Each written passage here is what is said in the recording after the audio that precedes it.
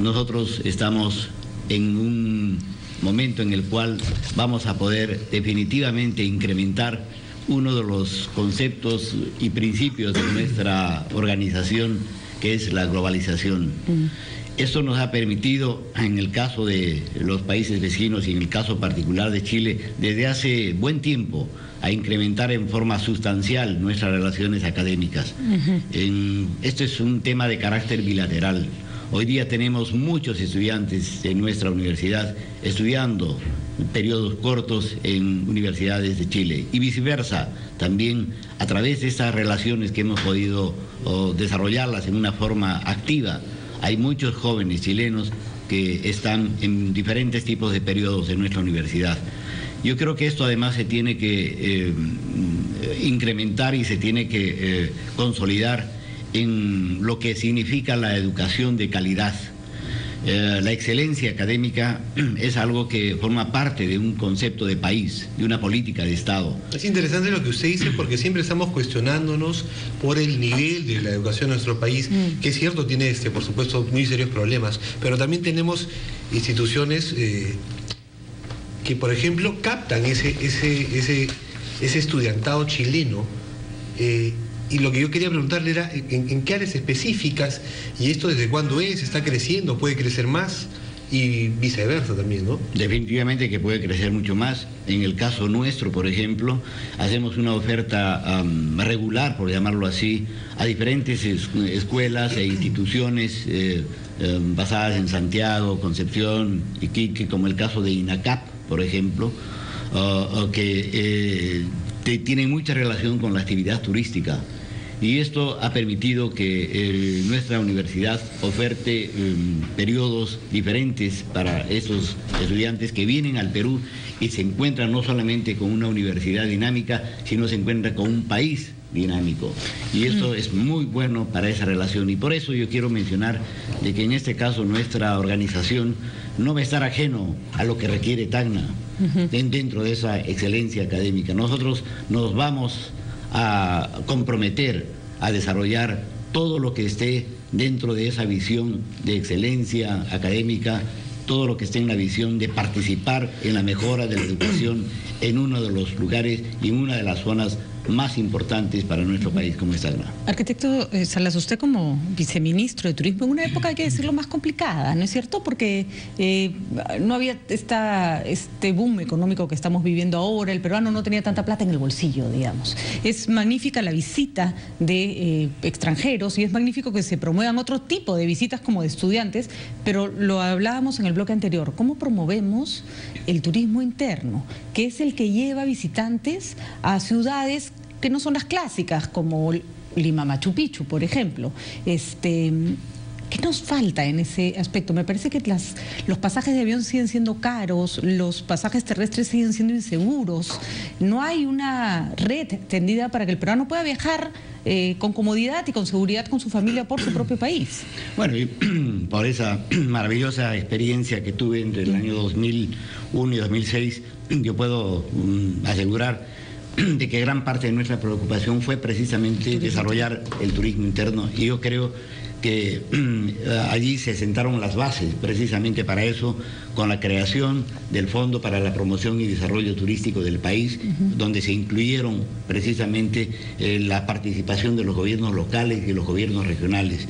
Yo creo que hoy día el Perú tiene muchísimas más posibilidades de desarrollar su turismo interno y lo vemos, las cifras creo que lo dicen, pero esto forma parte de algo que también creo que es muy importante desarrollar el turismo interno es un turismo repetitivo, es un turismo que tiene una gran virtud de llegar a todas las clases económicas y sociales y eso oh, en términos, por ejemplo, que yo lo traslado al plano académico, ah, creo que una de las actividades de una ah, institución académica como es, por ejemplo, la San Ignacio Loyola, promueve también que sus estudiantes, a través de un pilar fundamental de los cuatro que tiene, como es el desarrollo, se proyecten hacia su país en forma cotidiana desde el punto de vista académico. Y por ello yo quiero mencionar los cuatro pilares de nuestra institución, que son la responsabilidad social, el desarrollo, la globalización y el emprendimiento, hacen posible que el joven en su etapa de formación conozca su país, vea su país, lo viva y luego pueda aplicar sus conocimientos en él. Y precisamente por esa experiencia suya como viceministro de Turismo, por ejemplo, acá teníamos al señor Ronnie Jurado hace unos minutos y tenía propuestas concretas para el desarrollo de ciertas actividades, sobre todo pesqueras, eh, industriales en, en, Tacna. Que a propósito del fallo de la Haya y esta mirada que le damos ahora, una nueva mirada al sur de nuestro país, a Tacna, ¿qué propuestas podrían desarrollarse en Tacna?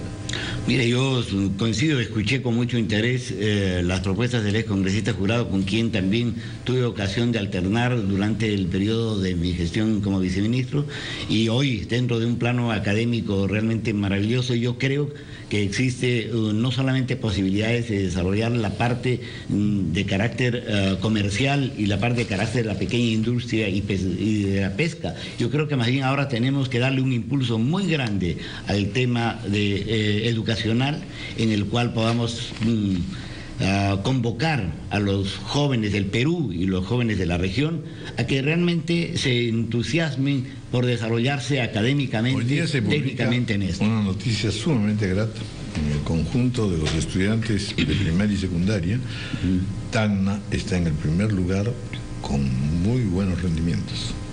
O sea que estamos teniendo allí un punto de partida realmente de estudiantes que ya tienen Yo creo que Esto es algo sumamente eh, interesante que ha ocurrido en nuestro país y aquí quiero llevar a un plano también muy muy puntual y específico, eh, la decisión del gobierno que nos parece a nosotros como academia, nos parece eh, uno de los hitos históricos en la educación en el Perú, al crear el sistema de beca 18, que convoca a jóvenes de las entrañas de nuestro país, de, los, de posibilidades limitadas, pero con un intelecto adecuado, en el cual nosotros como Universidad San Ignacio Loyola estamos participando activamente en todo el Perú.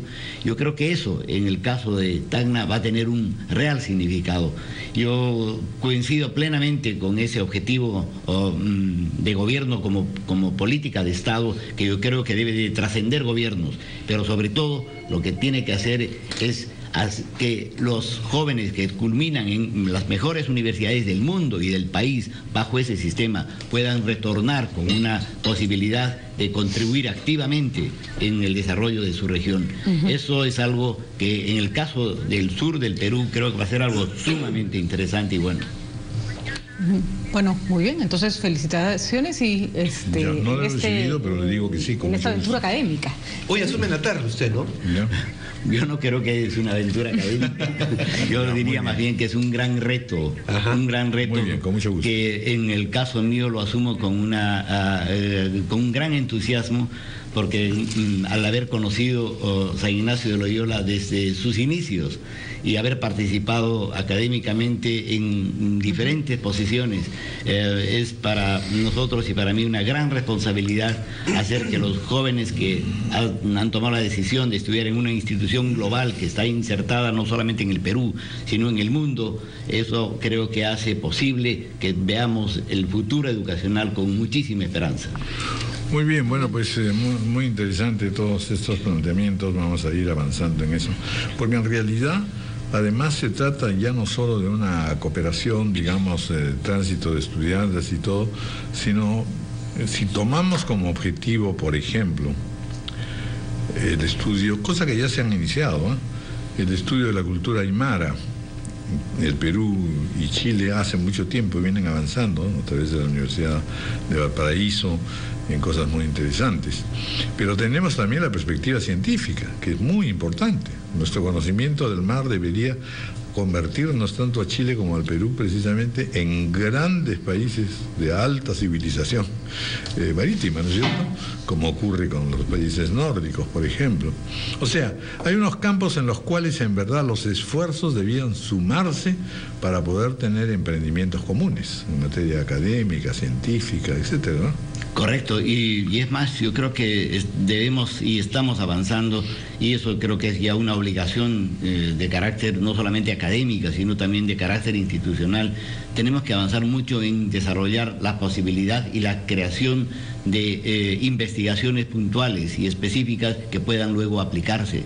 Yo creo que eh, cada vez más estamos avanzando y ese es, en nuestro caso es uno de nuestros planteamientos fundamentales de desarrollo académico en la inserción de la parte académica misma con lo que es el desarrollo y la evolución del mercado y de, las industrias.